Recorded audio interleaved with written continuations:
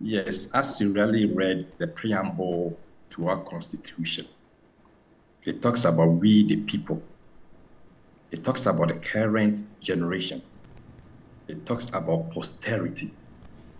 So in assessing how this Constitution has fared, we have to first look at those of us living now, since 92 to date, how we're assessing the Constitution.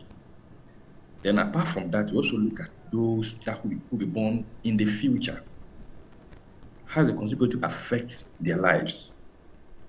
Sineiko to made mention of Article 1 and Article 3.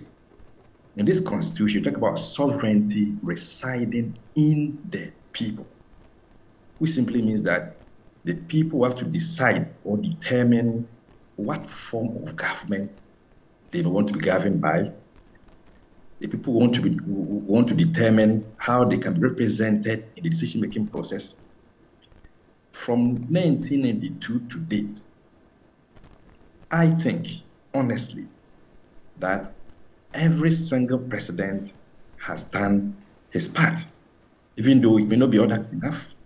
So Martin, his assertion that it's only President Mills that he thinks did something that he would commend, I differ those of us who were born in the late 70s and were children in the early 80s, if you trace our footsteps back and look at where we were, and then we come to where we are now, you realize that every single president has added on into onto our democratic journey.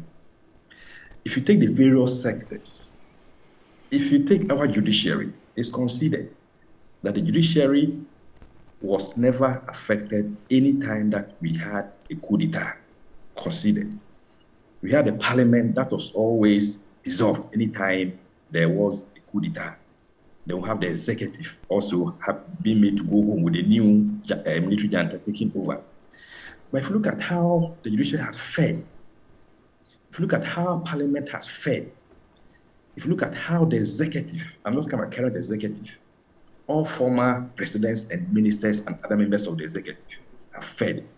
You can come to the conclusion that they've not done 100%, but reasonably, whatever administration sought to do and is seeking to do, we can say it's not only President Mills who did something extraordinary.